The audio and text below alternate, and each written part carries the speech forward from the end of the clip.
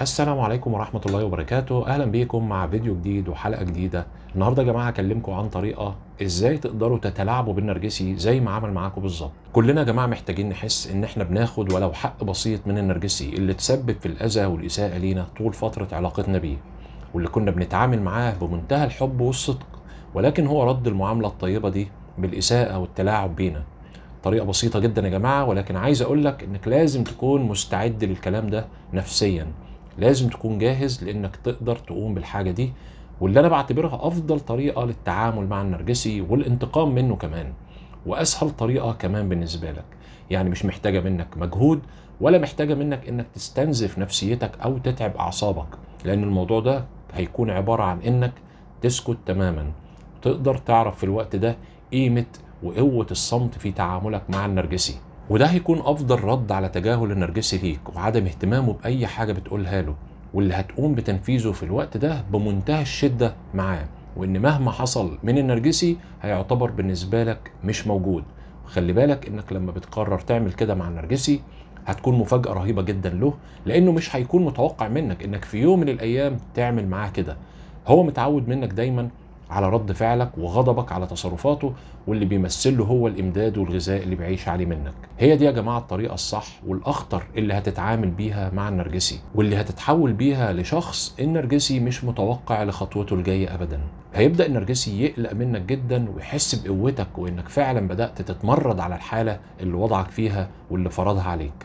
خلي بالك إحنا هنا مش بنتكلم عن إزاي نتحكم في الأشخاص اللي حوالينا أو إزاي نتلاعب بيهم. ولكن دي طريقة للتعامل مع وضع مسيء بالنسبة لنا. وضع متعب من شخص نرجسي كل همه إنه يتعبنا ويسبب لنا الألم وإحنا بنحاول نتفادى الإساءات دي. اللي بنتكلم عنه يا جماعة هو إزاي تقدر تستغل قوتك وتستعيد سيطرتك على نفسك وتوقف سيطرة أي شخص تاني عليك. اللي بتعمله بالصمت ده إنك بتسحب طاقتك وردود أفعالك وتحرم الشخص النرجسي ده منها واللي بكل تأكيد هيكره جدا اللي انت بتعمله ده ومش هيتقبله منك ابدا. طبعا النرجسي فاهمك كويس قوي طول فترة علاقتك معاه وهو كان بيدرسك وبيعرف طريقة تفكيرك علشان يعرف ردود أفعالك واللي انت ناوي عليه قبل ما انت تعمله. واللي النرجسي ما كانش يتخيله ابدا إنك تقدر تعمله إنك تقدر تعمل معاه نفس اللي كان بيعمله معاك بالظبط وهو الصمت. اللي كان بيستخدمه معاك ولكن كان بغرض عقابك على أي حاجة وكل حاجة. ولكن استخدامك للصمت دلوقتي مش هيكون عقاب للنرجسي قبل ما هيكون إنقاذ لنفسك ووضع حد الاساءات المستمرة معاك. وهو ده الأهم بالنسبة لك دلوقتي. قضيت عمرك كله خلال علاقتك بالنرجسي وأنت بتحاول تسأل وتفهم إيه اللي بيحصل بالظبط بينك وبينه ده. وهو ولا هو هنا. لازم تفهم إن النرجسي عمره ما هيدي لك تفسير لأي حاجة بيعملها أو بيقولها ولا هيقول لك على أسباب لأي حاجة حصلت بينك وبينه. علشان كده لازم يجي عليك وقت وتعمل أنت ده بنفسك. تستعيد سيطرتك على الموقف وتبدأ أنت ما تديش للنرجسي اللي هو عايزه ولا اللي هو منتظره منك سواء ردود أفعالك أو طاقتك. لو فكرت في الموضوع شوية هتلاقي إنك لما بتسكت النرجسي بيتحرم من أي معلومات عنك واللي المفروض إن هو بيقدر يستخدمها ضدك طول ما أنت بتتكلم طول ما أنت بتدي للنرجسي اللي بيقدر يأذيك بيه واللي يقدر يتلاعب بيك عن طريقه. صدقني أنت في الموقف ده أنت اللي بدأت تتلاعب بالنرجسي بعد ما كان هو اللي بيتلاعب بيك وبدأت تتعامله بنفس معاملته. الفرق اللي بينك وبين النرجسي في الموقف ده إنه لما كان بيتلاعب بيك كان غرضه الإساءة ليك واللعب بعقلك وروحك. أما أنت لما بتعمل كده بتكون بتحمي نفسك وبتضع حدود للي كان ما بيسمحلكش بيها قبل كده. كل المطلوب منك في الوقت ده إنك توقف التواصل مع النرجسي وتوقف أي اتصال بينك وبينه. أي معلومة هتقدمها له تكون حريص جدا عليها وتكون على قد السؤال لو كان في اضطرار يعني للتواصل معاه. لازم تكون عارف إيه اللي بيحصل بالظبط من النرجسي معاك وتتأكد وتعرف إن كل أساليبه معاك كانت عبارة عن تلاعب بيك بغرض الإساءة ليك مرة تانية وأي اهتمام بيك كان اهتمام كذاب. كان الغرض منه إنه ياخد منك أي معلومة أو أسرار خاصة بيك ويحتفظ بيها علشان يقدر يستخدمها ضدك في يوم من الأيام. لما هتعمل كده مع النرجسي هيبقى عاجز تماما عن إنه يأذيك بأي شكل من الأشكال لأنه مش لاقي منك أي رد فعل أو معلومة. كل أساليبه المستفزة معاك أصبحت دلوقتي ملهاش أي فايدة ولا بتأثر فيك. وبكده انت بتقدر توصل لحالة من السلام النفسي اللي انت محتاج لها جدا بعد فترات طويلة من الإساءة والمعاناة ناس كتير هتكون مضطرة إنها تتواصل مع النرجسي إذا كان بحكم الأولاد أو بسبب أي شراكات معينة بينهم والتعامل هنا هيكون الإجابة على قد السؤال. مهما كان نوع السؤال إذا كان يخصك أو يخص أي حاجة خلاف الحاجة اللي ربطاكم ببعض. حاول ما تردش على قد ما تقدر أو يدوب تدي إجابة بسيطة جدا.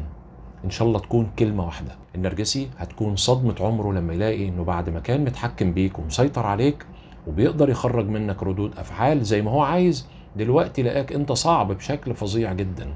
لأن الصمت يا جماعة بيقتل النرجسي وقلة الكلام مفعولها رهيب جدا عليه. أهم شيء في المرحلة دي مهما كانت الحالة اللي أنتم فيها ومهما كان الوضع اللي أنتم فيه وقف الخسارة لحد هنا. يعني هتفترض إن أنت اديته معلومات معينة أو أنت قلقان من حاجة معينة قلتها له وخايف إن هو يتلاعب بيك عن طريقها. صدقني حتى لو قدر يعمل بيها أي شيء هتكون آخر مرة بالنسبة له وهيكون آخر كارت بيلعب بيه معاك. أوعى تسمح له بإنه يبتزك بأي حاجة عنده تخصك لأن الكلام ده جالي من ناس كتير جدا. إذا كان الموضوع ده عبارة عن مثلا صور أو أسرار أو كلام أنت قلته له صدقني الابتزاز ما بينتهيش. بمجرد ما بيستخدم الحاجة دي مرة واحدة هتكون آخر مرة بالنسبة له. أهم شيء إن أنت تثبت على موقفك لأن المرة دي غير كل مرة. أنت كده بتلغي النرجسي من حياتك وبتقضي عليه تماما وبتحرمه من أي سلاح في إيده كان بيتلاعب بيه معاك أو أي حاجة في إيده ممكن يستخدمها ضدك. النرجسي خبير جدا في استخدام الحاجات دي علشان يقدر يتحكم بالضحية. خلي بالك هي دي نفس الطريقة اللي هيستخدمها مع أي حد يعرفه. حتى لو عرف شخص كل يوم هيتعامل معاه بنفس الطريقة. هيبدأ اهتمامه الخطير جدا بيه علشان يقدر ينتزع منه أسراره ويخبيها عنده طول فترة علاقته بيه لحد ما يجي اليوم اللي يحتاج الحاجة دي علشان يبدأ يستخدمها ضده. النرجسي يا جماعة عنده مشكلة في الارتباط ما بيعرفش يرتبط بالناس بطريقة صح. عنده حاجة اسمها اضطراب التعلق. أسوأ حاجة ممكن النرجسي يعملها مع الضحية بعد الانفصال هي إنه يستخدم أسرارها ضدها علشان يبتزها أو إنه يرجع أو إنه يرجع يسيطر عليها مرة تانية ويتحكم بيها لو في يوم من الأيام فكرت إن هي تبعد عنه أو تسيبه. للأسف يا جماعة موضوع الابتزاز ده بيجيب نتيجة مع ضحايا كتير بسبب إن هم في حالة من الضعف العاطفي أو ما بيقدروش يعني يواجهوا حملات تشويه السمعة اللي النرجسي بيهددهم بيها واللي بيعملها بدون أي نوع من الأخلاق أو الضمير أو حتى التعاطف. وخلي بالك النرجسي ما عندوش أي اعتبارات تخليه يرجع عن اللي هو بيعمله. لا قرابة ولا شكل اجتماعي ولا وجود أطفال حتى ممكن يخليه يتراجع عن الطريقة دي. كل اللي النرجسي بيكون شايفه هو إنه عايز يعيد سيطرته عليك مرة تانية ويتمكن منك مرة تانية. اللي أنا عايز أقوله لك حاول تدي لنفسك فرصة إنك تقطع الاتصال معاه علشان تدي لنفسك بعض الوقت علشان تبدأ تفكر وتفكر في قراراتك بشكل صح. أصعب مشكلة بتقابل معظم ضحايا النرجسيين هي إنه حتى بعد الانفصال بيكون عنده بعض المشاعر ناحيته والانفصال بيكون شيء صعب جدا على الضحيه بسبب كمية الحب والتعاطف اللي عاشها أو اللي الضحية عاشتها معاه. ولكن لازم تحط في دماغك حاجة مهمة إن النرجسي ولا هينشغل بيك ولا يهمه اللي أنت فيه ابدا لأن هو ما حبكش زي ما أنت حبيته من الأول ولا كان مرتبط بيك زي ما كان مفهمك أو بيقنعك. ولكن كان كل الموضوع بالنسبة له كان إنه يسيطر عليك ويحكم قبضته عليك ويتحكم في حياتك زي ما هو عايز. وده اللي بيخلي النرجسي دايما بيكون قدامك شيء مثالي جدا ورائع في بداية العلاقة. وكمان ده اللي بيخليه إنه يقدر يتنقل من علاقة للتانية بسهولة شديدة جدا ويبدأ يحصل على إمدادات من أي مكان تاني. لأن كل اللي النرجسي يعرفه هو إزاي يعيش بالطريقة اللي تناسبه هو مش اللي تناسب حد تاني. وكل اللي النرجسي يعرفه هو إزاي يستغل الناس اللي بيرتبط بيهم بأي شكل وبأي طريقة. تخيل نفسك كده بعد كل ده وبعد اللي انت قدمته للنرجسي قطعت عنه كل ده. فجأة انت سكت وقطعت التواصل معاه تخيل النرجسي من غير إمداد هيبقى عامل إزاي. صدقني النرجسي من غير إمداد ميت.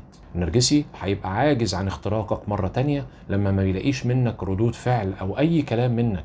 أو تواصل زي ما كان متعود معاك. الطريقة اللي أنت هتعملها دي هتنقذ بيها حياتك الباقية وتقدر تكمل بيها عمرك اللي كنت بتضيعه على شخص ما يستاهلش.